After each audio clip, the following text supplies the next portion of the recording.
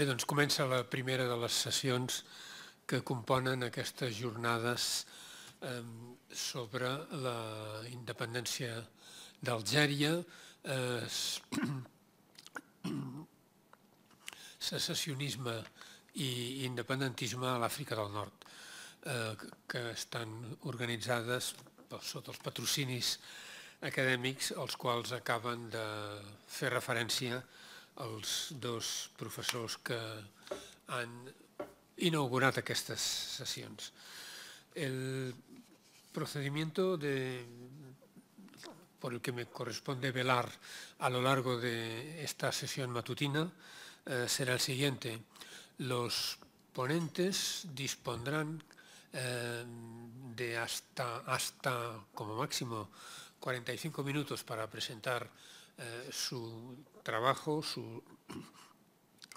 eh, después de los cuales habrá unos minutos para preguntas eh, que desde la audiencia se les formulen. Y al final de las tres ponencias con, las, con el tiempo que ocupen las preguntas, mucho o poco, entonces quedará tal vez, y sería interesante, hasta la hora a, la que termina esta sesión, que son las 13.30, todavía un espacio para un cierto un, turno abierto de intervenciones también desde la audiencia, tal vez más general, sobre las tres.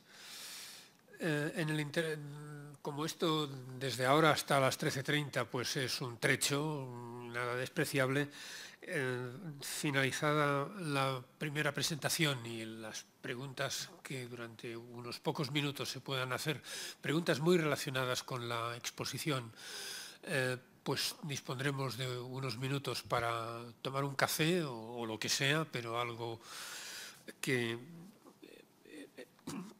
introduzca una, una cierta pausa, una pausa breve. Así pues, Empezamos con la primera de las eh, ponencias, la que eh, eh, es, de, es, de, Josep Pigmitjana y, y, Juan Pastrana Piñero, que se parte, presenta un estudio sobre la revista Mundo, que los que son de mi edad, que no sé si hay nadie aquí que la iguale, eh, sabemos bien la importancia que en, los años de nuestra, de hecho de mi, de mi, segunda adolescencia, si es que la hubo, y mi ingreso en la universidad, eh, tuvo eh, para los que nos interesábamos en temas de política internacional, es una, una buena lección de tema sobre la revista, la revista Mundo y la independencia de Argelia. Ellos tienen la palabra. Moltíssimes gràcies, professor Jaume Torres. Estem, estem molt contents que el professor Jaume Torres moderi aquestes, aquestes jornades. Uh, vamos a iniciar nuestra ponencia, uh, Joan Pastrana y yo. Uh, más o menos llevaré el ritmo de la, de la ponencia, pero en momentos puntuales Joan explicará elementos sustanciales. Como ha dicho el profesor Jaume Torres, eh, la revista Mundo es una revista relevante, era la revista semanal de política exterior y economía. Dedicaron muchas portadas al tema del norte de África y de Argelia a lo largo de estos años. Nosotros hemos eh, revisado los números de Mundo desde el año 53 hasta el 63, aunque el conflicto comienza en el 54 y se acaba en el 62, mm, para ver un poco los inicios del, conflicto en Argelia, muy vinculado con el de Marruecos y Túnez, y eh, posteriormente porque explicaban, hacían una síntesis de lo que había pasado y se acababa más o menos en 1963. Son más o menos unos 500 números de la revista y puedo asegurar que es un tema de, relevancia, como muestran algunas de las portadas que hemos, que hemos seleccionado y que luego, si viene al caso, comentaremos. Ah, pero para hacer un análisis más analítico, le, paso la palabra a Joan Pastrana, que les comentará uh, las estadísticas que ha elaborado. Maldites estadístiques. Eh, a veure, aquí el que hi ha una mica és, una, és el desglòs de tot el que s'ha arribat a analitzar. Uh, en referència a que no és només Mundo. Mundo protagonitza el cos central entre el 57 i el 63, però entre el 54 i el 56 vam recórrer també el suport de l'avantguàrdia. ¿vale? Un total de 542 articles o notícies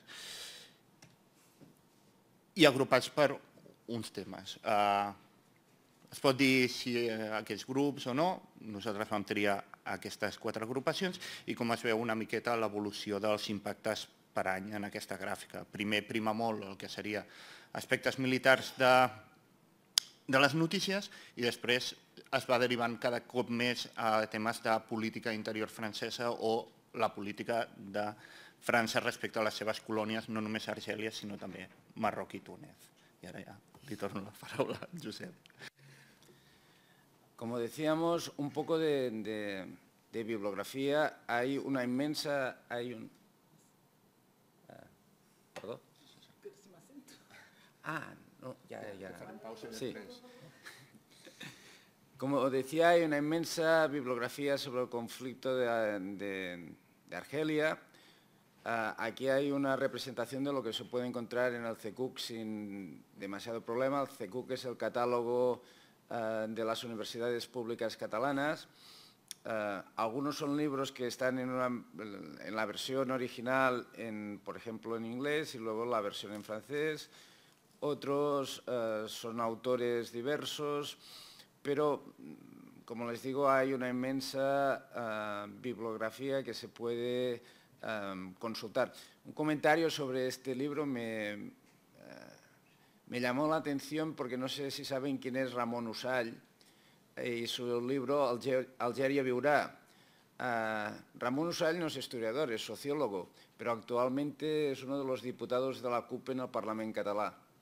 hizo su tesina sobre la independencia de Algeria y su tesis sobre la independencia de Kosovo. Bueno, me pareció que era, era un dato para comentar. Hay habla sobre la guerra de, Argelia, cuando se hacían los libros negros se hizo el libro negro de la guerra de Argelia, ah, se habla de la guerra revolucionaria, porque de hecho la guerra de Argelia fue también una revolución, la guerra revolucionaria del ejército francés en Argelia, ah, las fotografías de la guerra de, Argelia, ah, la guerra de Argelia vinculada con la memoria, el libro de Alistair Horn, que en teoría se leyó el presidente Bush, no sé yo si el presidente Bush leía mucho, pero bueno. a mí me gusta mucho la, colección QSG, ya me gusta, ya me gustaría, ya me gustaría aquí que tuviésemos una colección como QSG, qué sé yo. En teoría es una, una, una colección no de investigación, sino profesores universitarios que escriben textos para que se conozcan hechos relevantes. Los franceses, eh, para los franceses la, guerra de Argelia es un hecho muy relevante, como pueden ver casi toda la bibliografía está, está en francés. La Francia en guerra del 54 al 62, los hechos de París del año 61 o la, República Pretoriana de, Gómez Puello, donde se ve en la imagen a Benbela y a, a. Benvela y Aburguiba.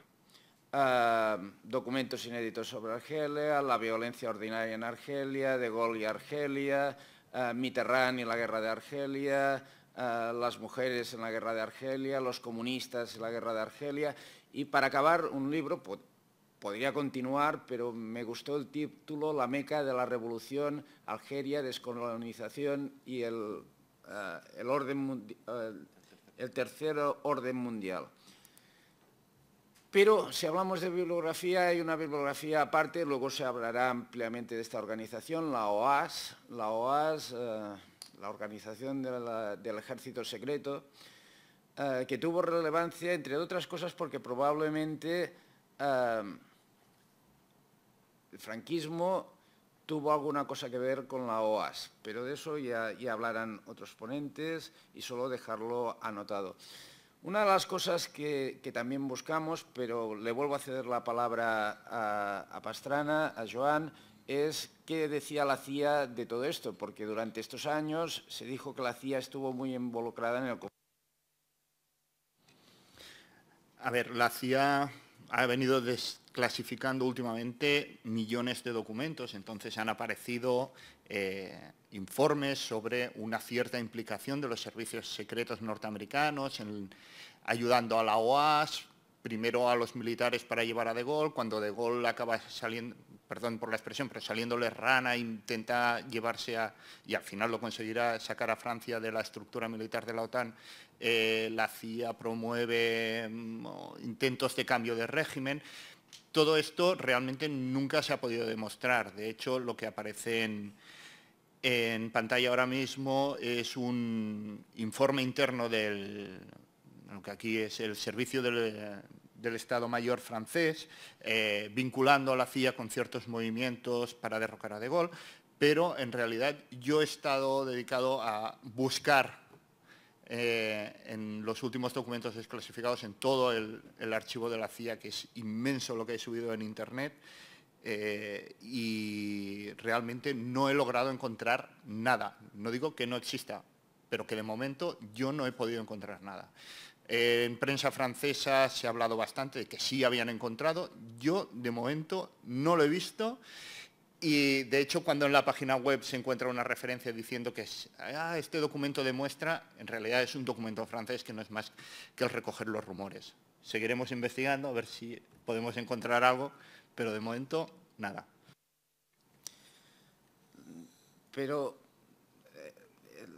eh, el, eje de nuestra ponencia es el, estudio de la, revista Mundo. No me extenderé mucho sobre Mundo porque en, las jornadas que hicimos el año pasado sobre la independencia de Marruecos ya hablé de Mundo, pero Mundo era una de las revistas más vinculadas con el régimen. De hecho, su fundador es Vicente Gallego, que creó F y, también creó Mundo. Cuando lo echan de F se queda con Mundo. Y tenía como padrino a Luis Carrero Blanco. Y estos son palabras mayores. Palabras mayores en el régimen y por tanto tenían información muy privilegiada. Y entre la lista de los redactores hay una lista muy amplia de personas muy relevantes del régimen, como José María Cordero Torres, como Carlos Teófilo Delgado, como, el historiador Melchor Fernández Almagro, como Carlos Fernández Cuenca, como el militar y alcalde de Jerez Tomás García Figueras, ah, como Fernando García Varela, ah, como Gil Benumella, o si prefieren Rodolfo Gil Torres, como Andrés Speyer, entre, entre otros. Ah, como por ejemplo el padre de Victoria Prego o por ejemplo el padre de Villarmir. Ah, ¿Qué se ha escrito sobre el mundo? No mucho. Un artículo de María Dolores Algora Weber. Ah, hay alguna referencia en el libro de Vicente Olmos, Historia de la Agencia F. Un artículo conjunto que firmé con Pastrana y Contreras sobre la visión del comunismo en la revista Mundo y mi capítulo en el libro España frente a la independencia de Marruecos y esperamos que estas jornadas sean el segundo volumen de, este libro que ya, ya existe. ¿Qué hemos hecho? Pues mm, de la visión de estos 500 números largos los hemos estructurado cronológicamente, de 1953 a 1963. Por tanto, lo que expondré es la visión de mundo eh, siguiendo un orden cronológico y un poco por temas. En el 53 no hay problemas en Argel. Si, se fijan, los mapas siempre serán así. Eh, para la revista Mundo y para los franquistas habían dos Argelias. Uno era la de la costa, que es básicamente la zona que va de Orán a Bona, donde de hecho es donde vive la mayor parte de la población, que para ellos es Argelia, y lo otro es el Sáhara argelino. Y el Sáhara argelino podía tener las fronteras que, tiene el actual Sáhara o otras fronteras. Por tanto, cuando ellos hablan de Argelia, hablan sobre todo de la costa, no tanto del, Sáhara argelino. Pero en algunos mapas, cuando muestran la Unión Francesa, el gran proyecto de la Cuarta República es crear la Unión Francesa, pues lo que muestran es que el territorio metropolitano es la Francia metropolitana y toda Argelia. Eh, en la época, digamos que no siempre eran políticamente correctos y utilizaban mapas como este, donde hablan de las razas que habitan en la Unión Francesa. Por ejemplo, en Argelia habitarían blancos. Ah, pero el gran problema de Francia en ese, en ese momento es Indochina. En Indochina hay una guerra muy relevante y, de hecho, los franceses ah, lucharán en Indochina, no solo en Vietnam, sino en toda Indochina durante ocho años. Y van haciendo mapas explicando la situación. España está muy interesada en explicar el gran imperio colonial francés. Francia es uno de los grandes imperios mundiales y en Argelia siempre eh, ponen aquello que son francos metropolitanos y que su futuro es la, asimilación económica con el resto de España y la producción agroforestal. Una Argelia que en ese momento, eh, como pueden ver, tanto Marruecos como Túnez eran protectorados franceses, pero Argelia no es exactamente lo mismo, porque parte de Argelia ha sido anexionada no es considerada una colonia, sino que es considerada parte del suelo patrio, especialmente la zona que va de Orán a Constantina. Y además, eh, muchos norteafricanos, básicamente argelinos, pero también tunecinos y marroquíes, irán a trabajar a Francia, hasta el punto que Mundo aseguraba que gran parte de la financiación del Frente de Liberación Nacional eran de estos obreros argelinos que trabajaban en Francia y que enviaban dinero a Argelia para su independencia.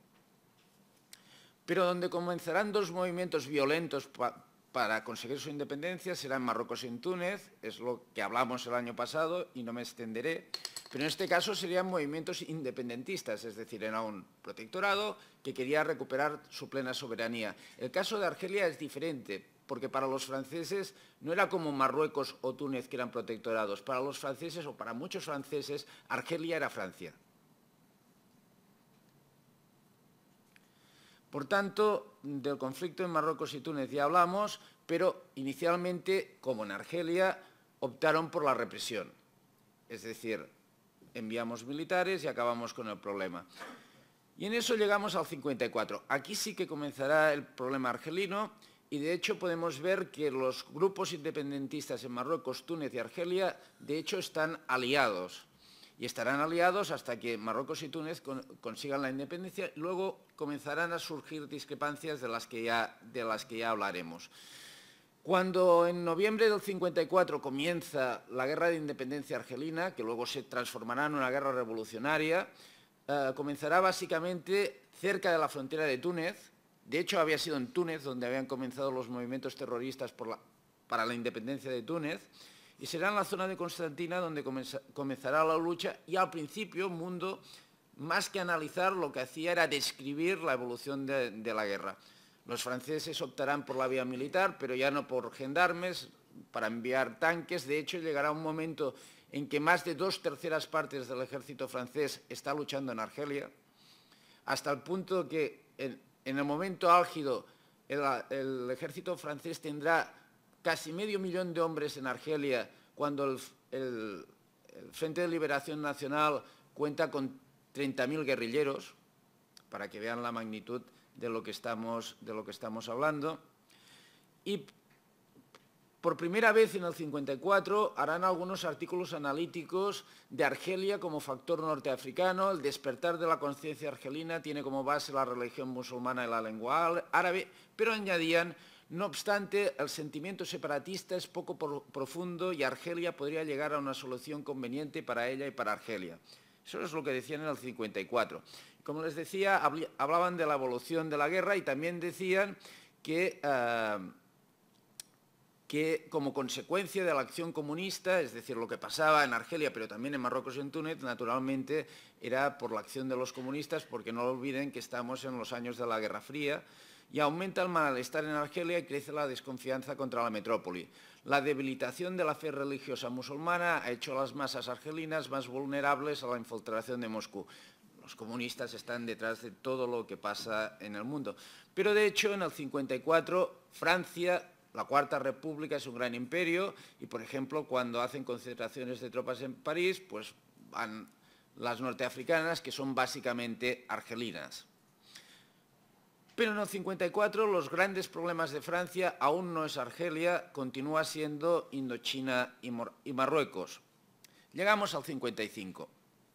Y en el 55 sí que el problema comienza a ser Argelia.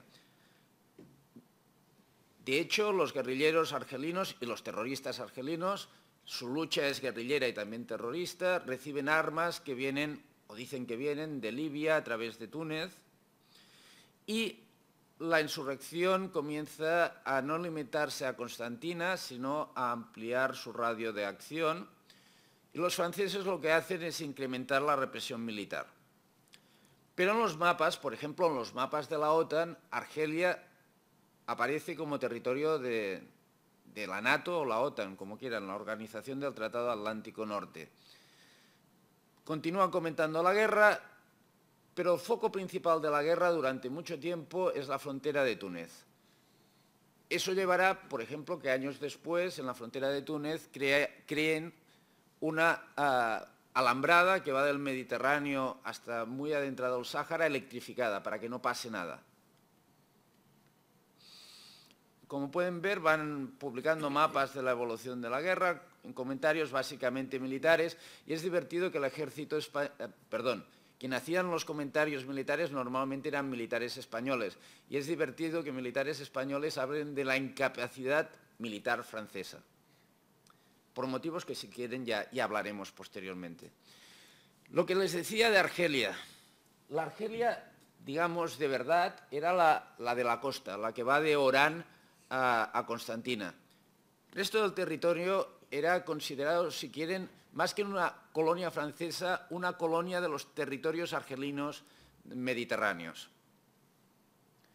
El conflicto se va extendiendo, está vinculado también a Marruecos, y además Melilla está muy próxima a la frontera de Argelia y ahora el conflicto se va acercando a Orán. Pero Orán es donde hay más argelinos europeos, muchos de ellos de origen español, pero de eso tampoco entraré porque ya habrá una ponencia que hablará de ello. Y llegamos a 1956, Marilyn, Elvis Presley y la insurrección de Hungría. Pero además, en política francesa continuaban los problemas con, la creación, con la creación de la Unión Francesa y los franquistas estaban muy interesados en explicar cómo se estructuraría esta Unión Francesa y eh, que los parlamentarios coloniales querían que se implementase un sistema federal. En Francia el concepto federalismo no, creo que lo hayan comprendido muy mucho nunca. Ah, en Argelia aumentaba la actividad rebelde, ahora sí que el conflicto importante lo tienen en Argelia. Eh, yo pienso que uno de los motivos que les lleva a marcharse de Indochina después de ocho años de guerra durísima, aparte de la derrota de Dien Bien Phu, que es un último intento de acabar con la guerra, y lo que les llevará a marcharse de Marruecos y de Túnez es que quieren centrarse en Argelia. Ellos tienen clarísimo que todo el imperio se puede perder, pero que Argelia no es imperio, que Argelia es su territorio. Y eso implicará, poca broma, mm, por si me olvidase, ya lo digo ahora, implicará un golpe de Estado que acabará con la Cuarta República y el nacimiento de la Quinta República Francesa. Implicará dos intentos más de golpe de Estado que podían llevar a Francia a la guerra civil. Esto lo refleja perfectamente la revista, la revista Mundo. Y decían cosas como la siguiente. ¿Cuál era el problema de la Argelia francesa? Que de los nueve millones de argelinos, ocho son franceses musulmanes, y ellos mismos escribían franceses musulmanes en comillas, y el resto de diverso origen. De diverso origen porque muchos, por ejemplo, venían de España. Y es el momento en que eh, ellos no quieren olvidar que el 2 de marzo del 56 Marruecos consigue la independencia y el 20 de marzo del 56 Túnez consigue la independencia. Marruecos y Túnez sí, pero Argelia no. Y además eh, las tropas francesas se quedarán en Túnez y Marruecos muchos años. Eh, los mapas vuelven a señalar un poco lo que les decía, es decir, la diferencia entre la Argelia mediterránea y la Argelia del Sáhara. Cuando Marruecos y Túnez ya se han independizado, la guerra en Argelia se incrementa y este documento a mí me parece muy divertido, es del 1 de abril de 1956, porque ah, los países africanos intentan internacionalizar el, conflicto, llevar el tema de Argelia a las Naciones Unidas, y aquí que explica, lo que explica es que el embajador norteamericano dice que lo de Argelia es un problema interno francés, y que por tanto Estados Unidos no entrará en el conflicto. La guerra se endurece, es una guerra eh, durísima, otro mapa donde explica los diferentes, los diferentes departamentos que formaban la Argelia francesa, que los franceses no pueden evitar la expansión terrorista y, sobre todo en el 56-57, se comenzará a hablar de la posibilidad de la partición de Argelia, es decir, de dividir Argelia entre una Argelia para los musulmanes y una Argelia para los franceses. Básicamente, y llegarán a compararlo con el tema de Palestina, es decir, lo que han hecho los judíos en Palestina es lo que tenemos que hacer los franceses o lo que quieren hacer los franceses en Argelia. Irán cambiando las fronteras, pero básicamente será aquello, nos quedamos la Argelia del Mediterráneo, el resto que hagan lo que quieran con ella, Luego llegarán a otra conclusión, nos quedamos la zona de Orán y Argel y el resto se lo pasamos a los argelinos y finalmente aceptarán aquello del derecho de autodeterminación, que se haga un referéndum y en el referéndum llegará la independencia. Pero eso ya hablaremos.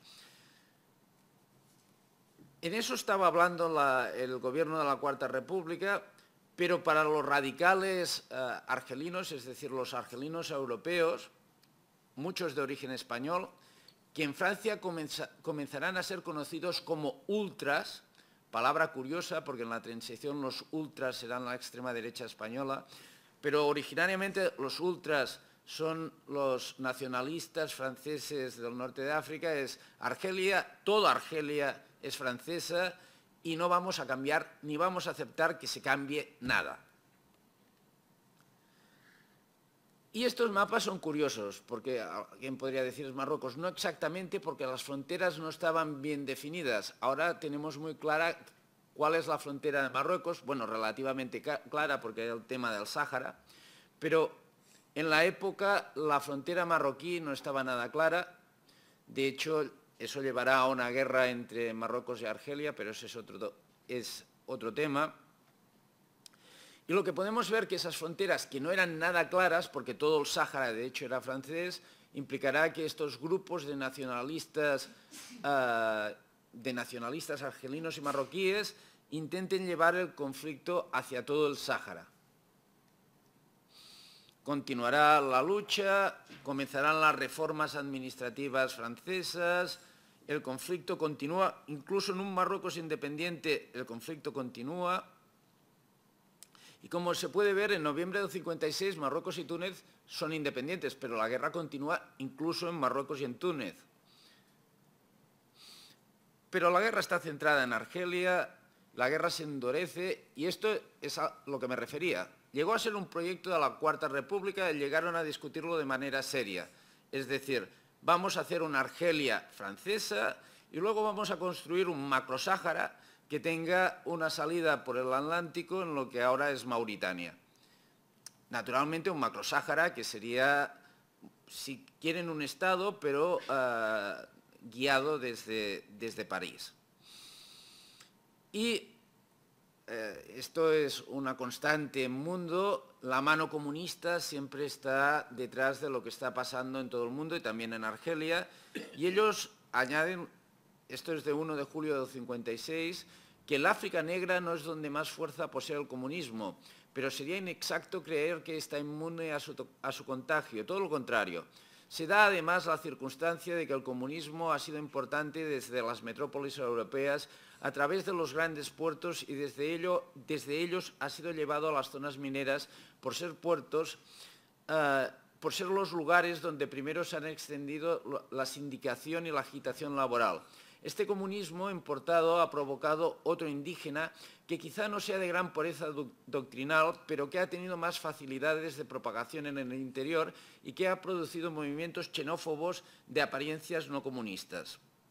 Ah, y esto también, perdonen la expresión, es divertido. No sé si les suena quién es el general Raúl Salán. Raúl Salán en 1961 será el jefe de la OAS.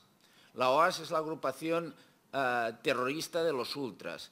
Pero, pero en octubre en el 57 esto no era exactamente así. Este es uno de los grandes procesos que llevará a la guerra de Argelia, que es el, el afer del Bazooka. ¿Por qué? Porque estos ultras en 1957 querrán matar a Salán. ¿Por qué? Porque consideran que Salán es demasiado moderado, quieren a un general más radical. Llegamos a 1957, hay sindicatos europeos y africanos, tanto en Marruecos como en Túnez como Argelia, y la guerra continúa. Una guerra que es muy dura y donde, sobre todo desde Túnez, pero también desde Marruecos, hay infiltraciones de armas y de guerrilleros que luchan en Argelia. Y vuelven a repetir en marzo de 57 el plan de partición de Argelia, un Estado asociado y una zona francesa, es decir, una zona que sea tan francesa como puede ser Perpiñá y otra zona que sea un Estado asociado a la Unión Francesa. Por tanto, la Argelia, cuando no hacen mapas como este, sino más finos, siempre la dividirán en dos, en dos zonas, como se ve aquí. El Sáhara argelino y Argelia uh, mediterránea.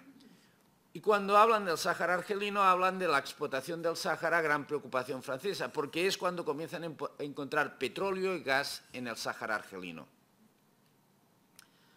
Y es cuando se dan cuenta que en el Sáhara argelino hay los tuaregs y que los tuaregs pueden ser, una nación quizá más manejable uh, que los berebers y los árabes de, del Mediterráneo.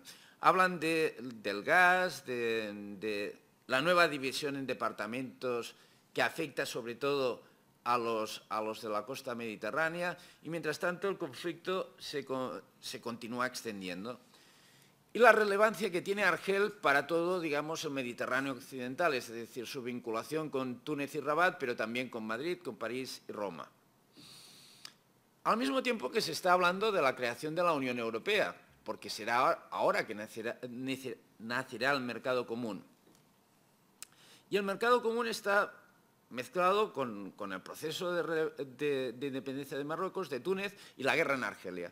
Y Bourguiba quiere jugar, Bourguiba es el, presidente de la República de Túnez, quiere jugar un rol relevante y comienza a decir, lo de la Unión Francesa os lo, os lo, lo olvidáis y en todo caso hacemos como una Commonwealth, una comunidad como los británicos, y Túnez serán los primeros que dirán, no, no, no, no queremos a Franco, queremos nuestra propia divisa y además queremos un ejército tunecino y queremos armas y si no, no, nos las vende Francia, ya nos las venderá alguien y ese alguien será Washington y Estados Unidos. Eso quizá explica el criterio anti-norteamericano de, de, Gaulle.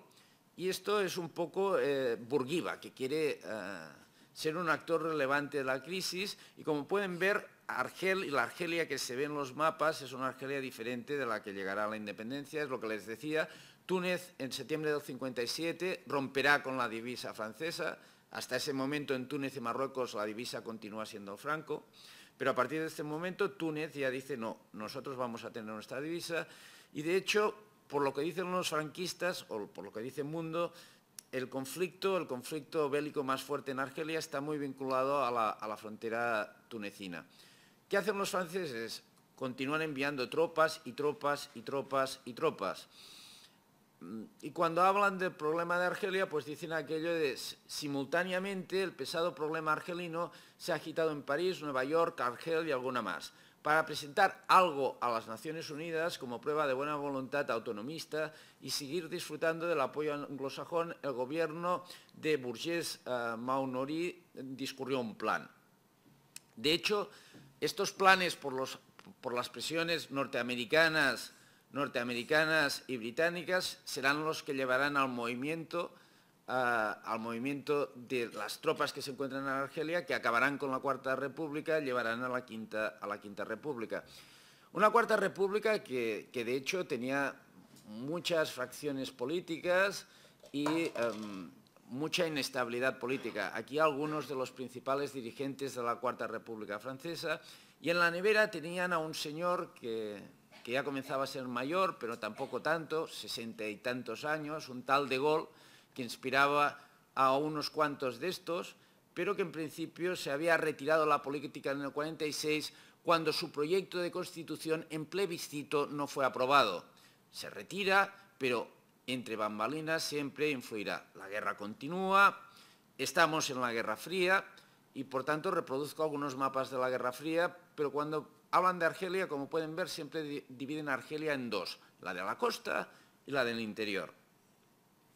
Y también comienzan a explicar en el 57 que lo de la Argelia es una guerra revolucionaria y esta imagen la encuentro divertida. Aún no existe el mercado común, pero dicen, se va a crear el mercado común de los seis y de pasada este mercado común tiene un submercado en África que son todas las colonias francesas más el Congo belga.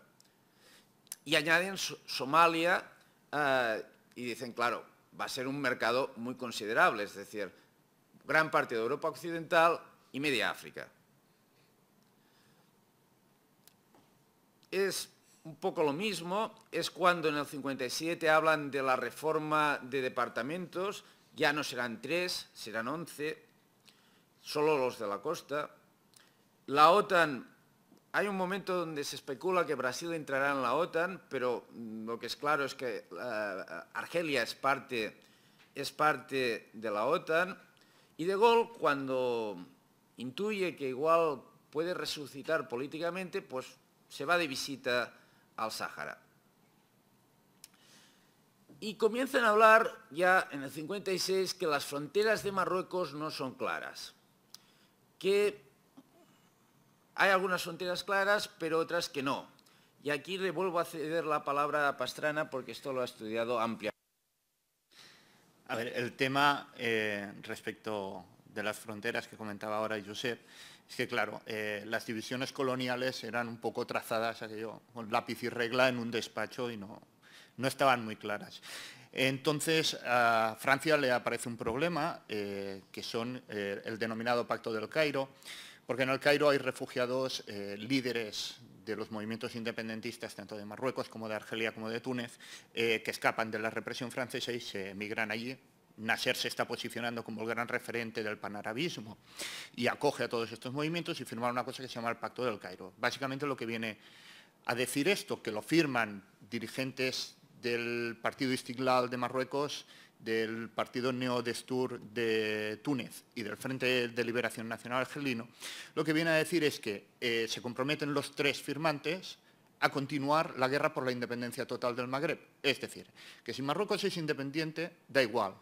Seguirá combatiendo al lado de sus hermanos argelinos y tunecinos hasta que los tres países sean independientes. Luego lo que pasará es que los tunecinos y los marroquíes eh, una vez alcanzan la independencia se olvidan de este pacto. Entre otras cosas porque en Marruecos eh, Mohamed V, que es el sultán reinstaurado, eh, no es el que ha firmado, sino que lo ha firmado un dirigente eh, que se llama el Fasi, y hay toda una lucha por el poder dentro de Marruecos y a Mohamed V no le interesa en absoluto continuar peleando por la independencia de Argelia.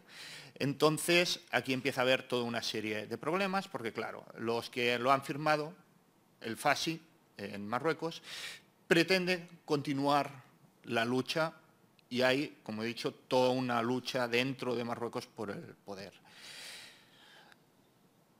En mundo ya en el 56 están hablando de esto, empiezan a aparecer dentro de las últimas colonias españolas, que eran el Sáhara, el denominado Protectorado Sur de Marruecos, y una cosita está aquí, que se llama Ifni, que era una ciudad con un pequeño espacio alrededor y que había sido eh, digamos, ocupado por España en 1934, pues empiezan a aparecer bandas armadas, lo que en el mundo llaman bandas armadas del Ejército de Liberación.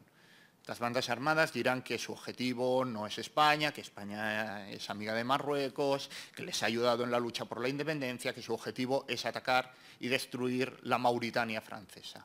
Luego al final lanzan un ataque sobre la Mauritania, los franceses les vapulean y acaban atacando a los españoles como presa de, eh, consolación, digamos así. Esto es Ifni, lo que os decía, una ciudad enclavada en, la costa atlántica marroquí, rodeada de un territorio. El Ejército de Liberación va apareciendo en 1956, 1957 se va incrementando y en noviembre de 1957, cuando ya han perdido eh, eh, en su lucha contra los franceses en Mauritania, ¿qué hacen? Atacan las posesiones españolas para echarlos. Eh, en algún momento en la documentación española o en la documentación francesa se alude también a que estas bandas armadas reciben ayuda de Argelia o que también estos ataques tienen que ver en determinados momentos con dar un apoyo a los argelinos que están recibiendo el peso del ataque francés en Argelia, eh, piden ayuda a los marroquíes, los marroquíes atacan Mauritania. Hay toda una serie de ramificaciones que se entrecruzan entre eh, este Ejército de Liberación Marroquí y el Frente de Liberación Nacional en, Argelia. Esto provocará un cambio de tono en determinados artículos dentro del mundo, porque claro, una cosa es eh, cuando España está bien con Marruecos y puedes eh, no reírte, pero sí se nota un cierto tono de satisfacción por los problemas de, los franceses en Argelia. Siempre hay un discurso de qué mal lo hacen los franceses en su imperio colonial, mira nosotros, que bien estamos con los marroquíes, no hay problemas de independencia, pero claro, de un día para otro España se encuentra con una guerra, a la cual tampoco se llamará guerra, en ningún momento se habla de la guerra de Ifni Sáhara, sino que son elementos incontrolados, eh, bandas terroristas, bandas armadas, bandidos, salvajes, se les llega a calificar, pero no es una guerra, a pesar de que España llega a enviar más de 25.000 soldados y que para acabarlo, España se ve en la necesidad, para acabarlo lo más rápidamente posible, de acabar haciendo una alianza con Francia. Y entre los dos juntos acabarán con eh, toda la presencia del Ejército de Liberación en el Sáhara. IFNI se mantendrá solamente en la ciudad, ahora explicas tú por qué está una foto de mi tesis doctoral aquí, eh, pero al final eh, sí que hay un cambio de tono después de esta guerra, porque evidentemente Francia ha ayudado a España a acabar esta guerra y se modera el tono de las críticas. Ya con esto... Mm, Quiero decir que lo que está explicando muy rápidamente pues es una tesis doctoral de centenares de páginas que se puede consultar en, Internet y que acaba de publicarse. Supongo que haremos una presentación del libro y él podrá explicar ampliamente por qué arde el desierto en el 1957. Pero en todo caso, eh, las, reivindicaciones del Istiqlal acogían un, toda Mauritania, una parte de Mali, una gran parte del Sáhara argelino, además de Ifni, el Sáhara occidental. como, puede, como puede verse, y van reiterando, lo van explicando, claro, en el 61 cuando hacen estos mapas, Marruecos ya no les cae tan bien a los, a los, a los franquistas. Y durante este conflicto es cuando los franceses han encontrado petróleo y gas en, en Argelia. Y hay y lo comienzan a explotar y comienzan a hacer gaseoductos y oleoductos y esto añadirá un, elemento económico a, la guerra de Argelia, porque no solo la Argelia de la costa, que es la habitada, sino resulta que en el Sáhara, aquellas arenas quemadas, pues resulta que ahora hay una fortuna debajo de ellas igual vale la pena luchar por ellas y además los franceses comienzan a explotarlas y comienzan a explotarlas con, un relativo éxito.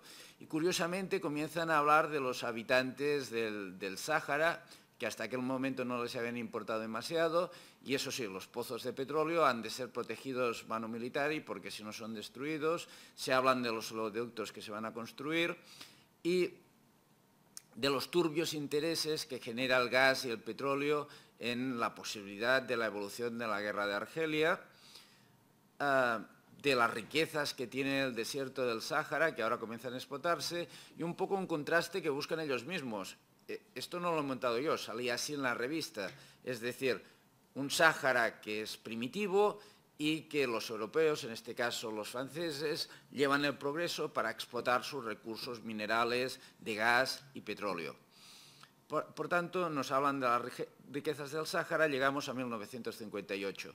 Uno de los puntos de fricción del mundo en el 58 es IMNI, como hemos hablado, es la oposición eh, presión a Bourguiba contra Francia y la insurgencia armada en Argelia. Y en el 58, más relevante que la, que la, guerra, que lo es, es que eh, el gobierno francés o los argelinos franceses piensan que el gobierno francés comienza a titubear y será cuando cada vez se habla más del hombre providencial que ha de solucionar los problemas, es decir, de Gaulle, comienza la campaña para la vuelta del poder del general eh, de Gaulle, aumentan en Francia la inquietud y el desasosiego, aplicación acelerada a la ley de bases con ventajas ciertas para Argelia, el pacto del Mediterráneo, solución excepcional de los problemas planteados. Es verdad que desde el 48 en Argelia había una asamblea para dar idea que alguna cosa habían hecho, pero de autonomía tenían bien poquita. Eh, se comienza a hablar de una unión eh, norteafricana y esto me hizo mucha gracia. Cuando encontré unas imágenes de Maurice Papon, y dicen, este sí que sabe, ¿eh? porque ya era, ya, ya era ah, prefecto de eh, policía con los nazis en Burdeos. Lo digo porque esto lo publicaba Mundo el 20 de abril del 58, luego en los años 80 le hicieron un proceso y nadie sabía nada. Debe ser porque no leían Mundo. en todo caso, en Francia hay una gran inestabilidad política, pero al mismo tiempo remarcan que hay una gran prosperidad es cuando habrá la gran crisis por la insurrección argelina, muy vinculada con Jacques Sustel, que es el hombre de los argelinos, es eh, cuando hay la insurrección en Argel, cuando el ejército de Argel se revela y ante eso caerá la, la, Cuarta República, llegará la Quinta y llega la hora del general de Gaulle. General de Gaulle que llega al poder como el hombre de los argelinos. Eh, claro, el golpe de Estado lo ha, encabezado Masú, que es el jefe de los paracaidistas, una unidad de élite, es la crisis de la Cuarta República, la sublevación militar de Argel, pone en peligro el régimen político en Francia, parte del ejército expone que no quiere más pactos con los rebeldes argelinos ni más tolerancia con las presiones externas. Es el momento de Raúl Salán, que en aquel momento les parecía moderado, de Charles de Gaulle, es el momento que el presidente de la República, René Coty, ha de aceptar si acepta las presiones militares o va a una guerra civil, a una posible guerra civil. Al final se aceptan las presiones militares y es cuando pasamos de la Cuarta República a la Quinta República y en los artículos es, difícil. Sé que me queda poco tiempo, pero mm, me permitirán que eh, se los lea. En junio del 58 escriben lo siguiente.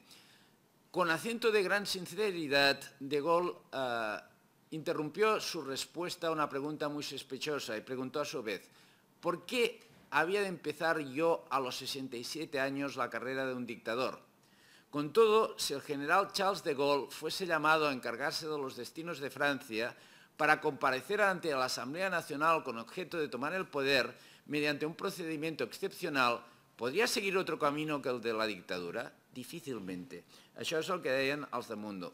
A França, en Francia hay problemas internos, pero también quieren mostrar que en Argelia los niños, sean europeos o musulmanes, no tienen problemas entre ellos, que el problema básico es que eh, la mayor parte de la población es musulmana, pero aún así De Gaulle tiene la oportunidad de conseguir lo que no consiguió en el 46, eh, imponer su modelo de república tiene el, apoyo de los militares y esta vez conseguirá lo que no había conseguido.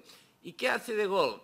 De Gaulle eh, piensa que para llegar a un acuerdo a Argelia ha de enriquecer Argelia, hará el plan Constantina de grandes obras públicas y es decir, por un lado vamos a enriquecer Argelia, por otro lado vamos a poner toda la carne en el asador y vamos a enviar el grueso del ejército francés y vamos a ganar militarmente la guerra. Cuando hayamos ganado militarmente la guerra, sea como sea, vamos a negociar una paz digamos que aceptable para las, para, las, para las partes.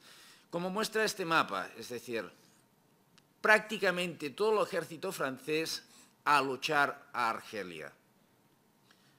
Y de hecho, militarmente van a destrozar al Frente de Liberación Nacional, que solo les queda mm, ya no la lucha guerrillera, sino la lucha terrorista.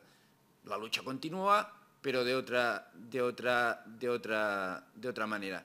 De Gaulle ya está en el poder, se consolida, llega la Quinta República, mm, a Mundo de Gaulle les gusta, les gusta mucho, son más críticos con los norteamericanos y eh, otra pequeña cita de agosto del 58, de un movimiento encaminado a transformar al régimen republicano de Francia en un Estado corporativo, que por cierto era como era el, Estado español de, la época. Francia escoge su destino, eh, la Cuarta República era muy mala porque había inestabilidad política, muestran a un De Gaulle que se había ido al 46 y ahora con los argelinos vuelve. Y ya para ir resumiendo, De Gaulle se consolida, hay el referéndum, a partir de aquí comienzan a poner algunas caricaturas. Aquí los referéndums, es decir, el que perdió en el 46, el que eh, llevó a la Cuarta República y el de la Quinta República. Hablan de Ferbat Abbas, que en aquel momento era, era, el líder del gobierno en el exilio de Argelia. Tienen en la cárcel a Benbela. Y De Gaulle lo primero que hace es establecer la autoridad de la Quinta República sobre los eh, comités de salvación nacional, comenzando por Massou, y eso llevará a, que estos se supediten a, París. Inicialmente lo hacen. Ah, y, comparan a De Gaulle con, Antonio Maura, es decir, lo que está haciendo De Gaulle es la revolución desde arriba. Ah, ahora ya es De Gaulle quien manda, Jacques Sostel, que era el político de los, de los argelinos, lo hace ministro, y es un De Gaulle que a los franquistas les gusta mucho, ah, hasta el punto que De Gaulle es uno de los grandes acontecimientos de 1958. Para sintetizar, y acabar, ¿qué pasa del 58 al 62? Pues lo que pasa es que en el 60 De Gaulle ve que el conflicto no se acaba, De Gaulle transforma a Francia en una potencia atómica en contra de lo que quieren norteamericanos y británicos, donde harán explotar las cuatro primeras bombas atómicas francesas en el Sáhara argelino, en el Sáhara argelino. De Gaulle entra en el club atómico del bracito de los alemanes. Los alemanes ayudan, la República Federal Alemana ayuda a que los franceses consigan su bomba atómica y hay caricaturas donde se muestra a De Gaulle y Adenauer que van dentro del mismo pantalón y que están delante de la tumba, es igual, delante de la tumba de, ¿cómo es? El ministro francés de Vichy que fue eh, fusilado, Laval, Laval diciendo, Laval se adelantó su tiempo, ahora sí que Francia y Alemania van, van juntas. En ese contexto de Gaulle se da cuenta que ha de solucionar el problema argelino de algún modo. ¿Por qué? Porque Argelia tiene petróleo, sí, mucho petróleo. Argelia tiene gas. De hecho, Argelia es el mayor eh, mercado de las industrias francesas, pero a Argelia le está costando cada año una fortuna, una fortuna al Estado francés, porque ha de mantener un ejército de medio millón de hombres en el terreno. Y o llega a un acuerdo de algún tipo, o sencillamente la Quinta República caerá. Cuando esto se dan cuenta los ultras, ¿qué, intentan hacer? Un nuevo golpe de Estado, esta vez contra De Gaulle. Pero que será el proceso de las barricadas. De Gaulle no cede y llega un momento que los sublevados han de decidir si se matan entre ellos, no con los del Frente de Liberación Nacional, es decir, si los paracas comienzan a luchar contra el ejército regular francés, ¿y qué pasa? Que acaban cediendo. ¿Y qué hace De Gaulle? Disuelve el primer regimiento de paracas. Y luego, ¿qué hacen? De los cuatro generales que encabezan la rebelión, tres son detenidos y uno no. Raúl Salán. Y Raúl Salán impulsa LOAS como grupo terrorista que tiene uno, de sus santuarios en, Madrid y comenzarán a hacer atentados, los mismos atentados que hacían el Frente de Liberación Nacional Argelino, ahora lo harán los, los ultras en territorio argelino y en territorio francés. Esto inspirará la famosa novela Chacal. Y en ese contexto, finalmente, llegan los acuerdos de Vian, donde se decide que se aplicará el derecho de autodeterminación y que sean los argelinos los que deciden si quieren continuar vinculados a Francia o no, decidirán que no, Francia conseguirá su independencia y eso es otra historia que ya iremos contando aquí. Muchas gracias por su paciencia.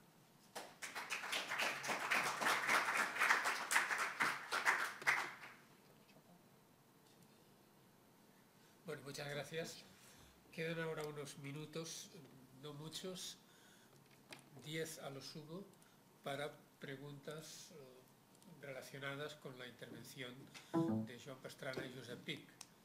Por favor.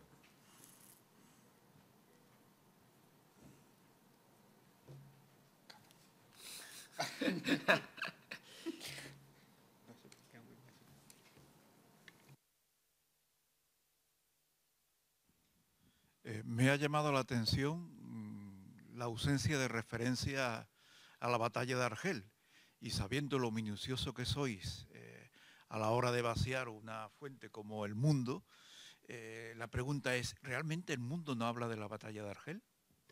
No. No. En la serie de artículos que después publican en el 63, sí hay un momento pero no lo mencionan como batalla, como batalla de Argel. Hay un artículo en el que hablan de la extensión de la tortura de los insurgentes para obtener información y demás. Pero tampoco lo critican, ¿eh? O sea, es una política que dio resultados, que funcionó, pero en ningún momento lo mencionan como batalla de Argel, sino como un hecho secundario. Si me permites, no tiene referencia a la batalla de Argel, pero no lo he podido enseñar. En años posteriores ah, hay revistas, hay artículos, no todos los redactores de Mundo eran exactamente iguales, pero hacen comentarios de cuando se hacen los grandes congresos de apoyo a Argelia de los países africanos que se han independizado, y en un momento determinado dice, pero es que casi todos son dictaduras. Lo dice una revista absolutamente vinculada con el régimen franquista.